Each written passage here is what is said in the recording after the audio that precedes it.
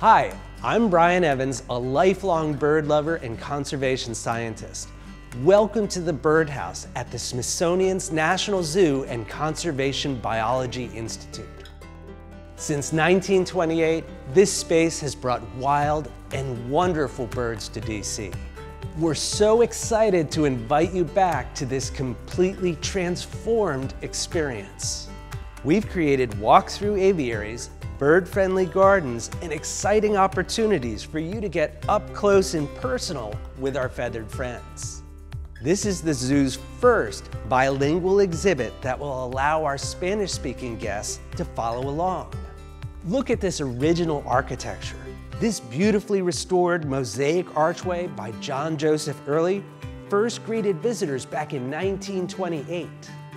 To make this a comfortable space for our birds, we installed a number of bird-friendly features throughout the building. Treated glass to prevent bird strikes, skylights that let in UV light, pollinator gardens to attract native birds in the area. Come with me through the flyway, look up and all around you.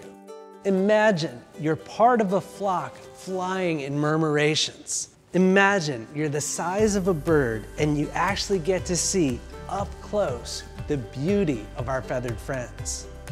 In the first of three walk-through aviaries, the Delaware Bay, you'll learn the story of shorebird migration from the southern tip of South America to the Arctic tundra. Red knots and other shorebirds are in an open marsh pond and themed beach, complete with horseshoe crabs.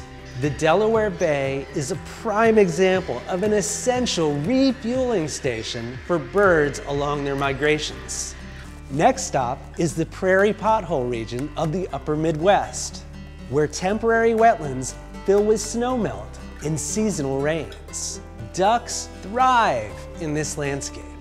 There's an abundance of food and extensive grasslands that safely conceal their nests. Entering the third aviary, which is a recreation of a bird-friendly coffee farm, you'll find colorful songbirds. They winter in the tropics.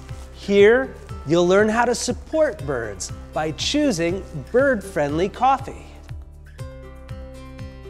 Our outdoor habitats have new residents, but you can still find some of your favorite species, like Kori bustards, rheas, and flamingos.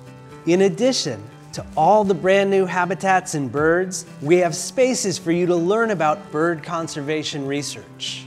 As a part of my ongoing research, we're going to be demonstrating how we band birds in the Bird Observatory. There's so much more to experience. On behalf of everyone at the Smithsonian's National Zoo and Conservation Biology Institute, we hope to see you very soon.